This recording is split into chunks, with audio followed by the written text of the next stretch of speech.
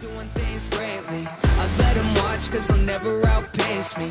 I'm doing things they never will cause I've been fighting my whole life for all this. And I would die for all this. Till they put